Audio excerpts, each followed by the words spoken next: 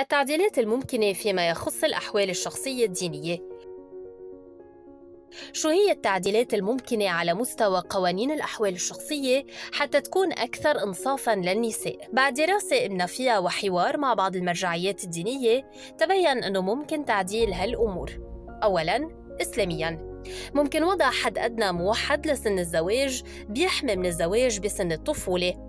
ممكن بقضايا الحضانة اعتماد معيار مصلحة الطفل الفضلى بدل مسألة العمر. تسهيل أحكام الطلاق للنساء من خلال جعله حق مشترك للطرفين بيمارسوه عبر دعوى نزاعية. توسيع أسباب الطلاق لا يشمل العنف المبني على النوع الاجتماعي أي العنف ضد النساء. إقرار المساواة بين النساء والرجال في قضايا الولاية والوصاية على الأولاد. تسهيل إجراءات الحصول على النفقة الزوجية والمهر ونفقة الأولاد مع مراعاة الظروف الاقتصادية للزوجين. ثانياً مسيحياً. اعتماد سن الرشد القانونية كسن أدنى للزواج.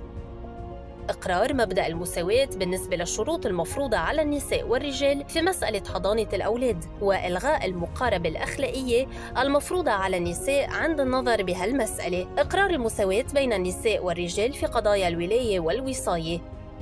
توسيع أسباب بطلان أو فسخ الزواج أو الطلاق حتى يشمل العنف ضد النساء. تطوير مقاربة النفقة الزوجية ونفقة الأولاد بناء على الظروف الاقتصادية لكلا الزوجين تطوير مقاربة التعامل مع مسألة التعويض للنساء عند الحكم ببطلان أو فسخ الزواج أو الطلاق وجعله متكافئ مع سنوات العمل والتضحية اللي قدمتها المرأة خلال الحياة الزوجية المشتركة.